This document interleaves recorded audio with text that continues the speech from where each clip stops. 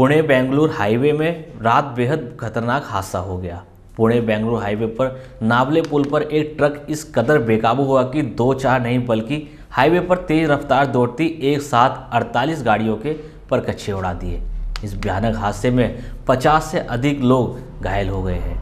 हादसे के बाद सतारा में मुंबई की ओर जाने वाली सड़क पर करीब दो से तीन किलोमीटर का लंबा जाम लग गया। बताया जा रहा है कि ब्रेक फेल होने की वजह से कंटेनर बेकाबू हो गया था। जानकारी मिली है कि महाराष्ट्र के पुणे में, पुणे बेंगलुरु हाईवे पर हुए भीषण हादसे में 50 से ज़्यादा लोग घायल हुए हैं। घटना की सूचना के बाद पुलिस और फायर ब्रिगेड की टीमें मौके पर पहुँच गई। पुलिस के मुताबिक तेज रफ्तार कंटेनर सतारा से मुंबई की ओर जा रहा था। इसी दौरान अचानक उसका ब्रेक फेल हो गया।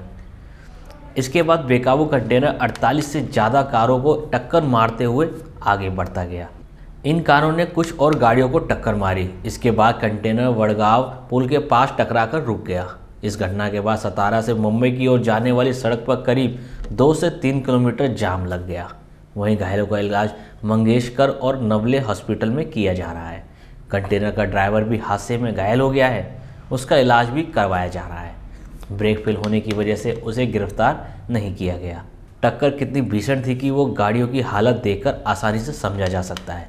कई गाड़ियों के परखच्चे उड़ गए। कुछ गाड़ियों को सड़क से हटाने के लिए क्रेन की मदद ली गई। किसी गाड़ी का अगला हिस्सा चकनाचूर हो गया तो किसी कार का पिछला हिस्सा बुरी तरह से क्षतिग्रस्त हो गया। बताया जा रहा है कि कंटेनर की स्पीड बहुत ज़्यादा थी, जिस वजह से उसने चार दर्जन गाड़ियों को टक्कर मार दी। इस वीडियो में देखा आपने कितना भयंकर हादसा हुआ है। इस वीडियो को देखकर आप क्या कहना चाहते हैं, अपनी राय कमेंट में बताएँ। अगर आप ये वीडियो YouTube पर देख रहे हैं तो हमारे चैनल को सब्सक्राइब करें और बेल आइकन को दबाना ना भूलें। अगर आप Facebook पर यह वीडियो देख रहे हैं तो हमारे पेज को लाइक करें।